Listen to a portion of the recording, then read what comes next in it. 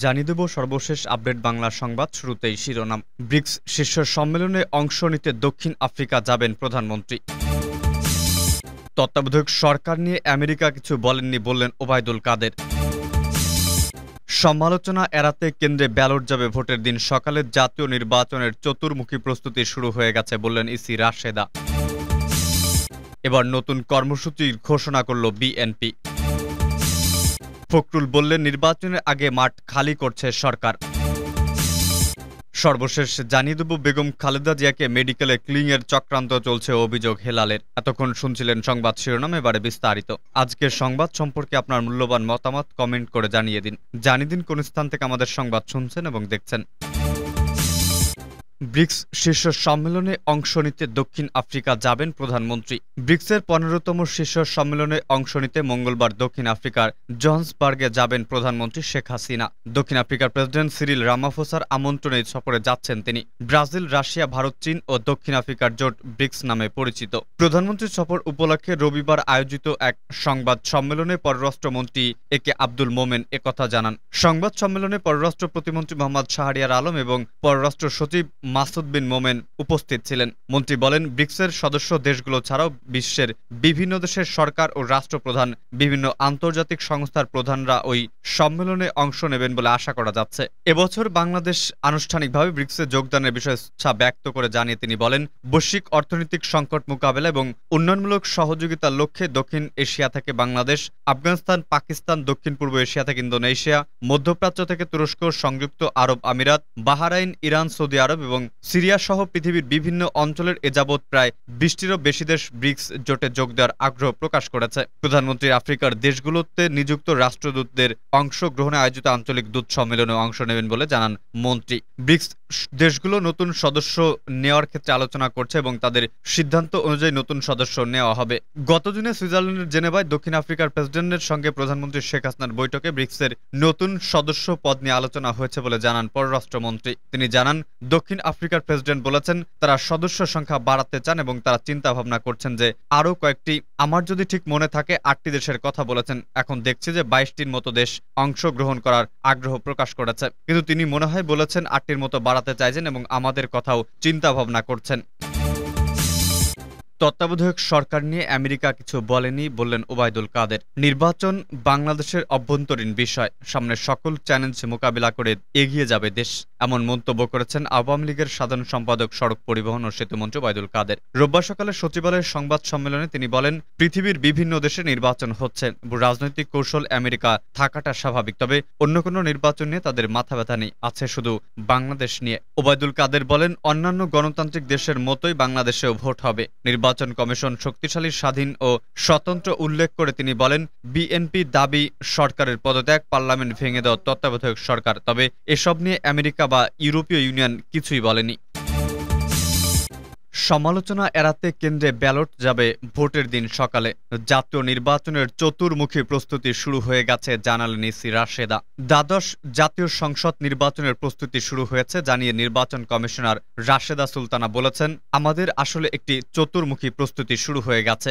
Vote করতে গেলে আমাদের যে ধরনের কাজ করতে হয়, সব শুরু করে দিয়েছি। অনেক কাজ এগিয়ে গেছে ও চলছে। তোড়জোড় চলছে ভোট গ্রহণ কর্মকর্তাদের নির্দেশিকা তৈরির। আগামীকাল কমিশন সভায় উঠবে। আজ রবিবার নির্বাচন ভবনে সাংবাদিকদের সঙ্গে আলাপকালে সব কথা বলেন তিনি। রাশেদা সুলতানা বলেন, প্রশিক্ষণ শুরুর আগে প্রশিক্ষকদের ট্রেনিং করা লাগবে, এজন্য ভোট কেন্দ্রের তালিকা করার খসড়া এসে গেছে। এখন ভোট কেন্দ্র ও ভোট গ্রহণ কর্মকর্তা বিষয়ে তোড়জোড় শুরু হয়েছে। কেন্দ্রভিত্তিক প্রিজাইডিং, সহকারী প্রিজাইডিং পুলিশ অফিসার দিয়ে কয়েক লাখ লোকবল প্রশিক্ষণের আওতায় আনতে হবে। তিনি বলেন, ভোট গ্রহণ কর্মকর্তাদের দক্ষতা, পেশাদারিত্বর বিবেচনায় নীতিমালা মেনে কাজ করতে হবে। আগের মতো সবাইকে পক্ষপাতহীনভাবে কাজ করতে হবে। সেপ্টেম্বর অক্টোবর থেকে প্রশিক্ষকদের প্রশিক্ষণ শুরু করার পরিকল্পনা রয়েছে। পরে তফসিল ঘোষণার পর প্রতীক বরাদ্দ শেষে ভোট গ্রহণ। কর্মকর্তাদের প্রশিক্ষণ শুরু হবে। বিদেশি পর্যবেক্ষকদের বিষয়ে এক প্রশ্নের জবাবে রাশেদা সুলতানা জানান, কমিশন সভায় এসব বিষয়ে আলোচনা হলে বিস্তারিত জানানো যাবে। আমরা নিয়োগ দেব না। পররাষ্ট্র, স্বরাষ্ট্র মন্ত্রণালয় হয়ে আসতে হবে। নীতিমালা মেনে তাদের কাজ করতে হবে। ইসি রাশেদা বলেন, দুই হাজার আঠারো সালের ভোটের সমালোচনা এড়াতে এবার ভোটের দিন সকালে কেন্দ্রে ব্যালট বক্স পাঠানোর সিদ্ধান্ত নিয়েছে কমিশন। উল্লেখ্য, এবছরের শেষ সপ্তাহে বা আগামী বছরের প্রথম সপ্তাহে ভোট করার কথা রয়েছে ইসির নতুন কর্মসূচির ঘোষণা করল বিএনপি। ঢাকা মহানগর দক্ষিণ বিএনপির সদস্য সচিব রফিকুল আলম মজনু এবং ভারপ্রাপ্ত সদস্য সচিব তানবির আহমেদ রবিন সহ বিরোধী নেতাকর্মীদের গ্রেফতারের প্রতিবাদ ও নিঃশর্ত মুক্তির দাবিতে আগামী মঙ্গলবার দক্ষিণের প্রতিটি থানায় বিক্ষোভ কর্মসূচি অনুষ্ঠিত হবে। রোববার বিকালে নয়াপল্টনে দলের কেন্দ্রীয় কার্যালয়ে ঢাকা মহানগর দক্ষিণ বিএনপির আহ্বায়ক আব্দুল সালাম এ কর্মসূচির ঘোষণা করেন। নির্বাচনের আগে মাঠ খালি করছে সরকার বললেন ফখরুল। প্রতিদিন দেশজুড়ে নেতা কর্মীদের বিরুদ্ধে কিছু পুলিশ সদস্য মামলা, গ্রেফতার ও হয়রানি অব্যাহত রেখেছে বলে অভিযোগ করে বিএনপি মহাসচিব মির্জা ফখরুল ইসলাম আলমগীর বলেছেন, প্রতিদিন পরিস্থিতি জটিল থেকে জটিলতর হচ্ছে।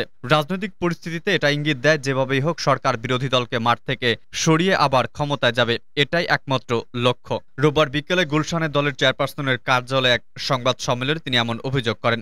শনিবার নিখোঁজ হওয়া ছাত্র ছাত্রদলের ছয় নেতার প্রসঙ্গ তুলে ফখরুল বলেন, ছাত্রদলের ছয় নেতাকে গ্রেফতার করা হয়েছে। আজকে অস্ত্র উদ্ধারের কথা বলা হয়েছে। অস্ত্রের ছবি দেখিয়ে ফখরুল বলেন, প্রাগৈতিহাসিক আমলের অস্ত্র আজকে ডিবি পুলিশ ব্রিফিং করে বলেছে, বিএনপি নির্বাচন বানচাল করতে অস্ত্র জমা করছে। পুলিশের লোকজন এখন রাজনৈতিক ভাষায় কথা বলছে। তিনি বলেন, হবিগঞ্জের জিকে গাউসের বাসায় নেতাকর্মীরা আশ্রয় নিলে সেখানেও পুলিশ গুলি করেছে। আহতদের হাসপাতালে যেতে বাধাও দেওয়া হয়। ফখরুল বলেন, প্রতিদিন জটিল থেকে জটিলতর হচ্ছে রাজনৈতিক পরিস্থিতিতে। এটা ইঙ্গিত দেয়, যেভাবেই হোক, তারা বিরোধী দলকে মাঠ থেকে সরিয়ে যেভাবেই হোক আবার ক্ষমতায় যাবে, এটাই তাদের একমাত্র লক্ষ্য। আরেক প্রশ্নের উত্তরে তিনি বলেন, আওয়ামী লীগ সন্ত্রাসী পার্টি, অবৈধ সরকারি নির্দেশে পুলিশ এসব করছে। আমরা বারবার বলেছি, রাষ্ট্রীয় সন্ত্রাস চলছে, বিচার বিভাগ, আইন শৃঙ্খলা বাহিনী ও অন্যান্য বাহিনী একইভাবে কাজ করছে। আমাদের কাছে তথ্য আছে, প্রয়োজনে আমরা দেখাবো। বিচারপতিদের বলা হচ্ছে, দ্রুত সাজার রায় দেওয়া হচ্ছে, অর্থাৎ তারা পুরো মাঠ খালি করে দিতে চায়। ছাত্র দলের ছয় নেতাকে অস্ত্র সহ গ্রেফতার দেখানো হয়েছে বলা হয়েছে। নির্বাচনের আগে অস্ত্র জমা করছে। এই প্রশ্ন প্রশ্নের উত্তরে ফখরুল বলেন, এগুলো তারা করছে যেন আরও বেশি করে করতে পারে, সেজন্য সব কথা বলছে। এটা তো নতুন নয়। আওয়ামী লীগের সাধারণ সম্পাদক বলেছেন, স্বরাষ্ট্রমন্ত্রী বলেছেন, সন্ত্রাসের কথা। কিন্তু সন্ত্রাসটা কোথায় হলো? অস্ত্র তাদের হাতে, আইন তাদের হাতে, এগুলো রাষ্ট্রীয় সন্ত্রাস।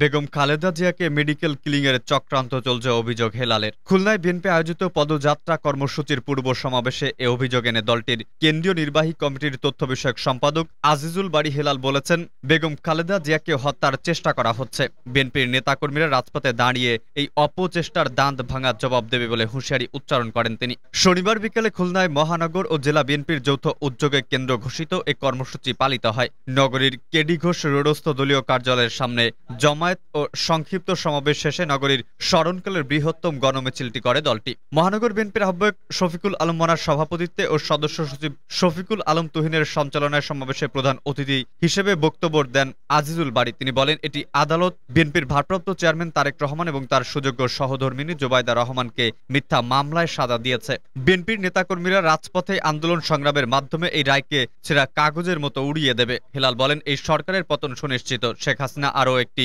অবৈধ ইলেকশনের পায় তারা করছে। সারা বিশ্ব তাদের বয়কট করেছে।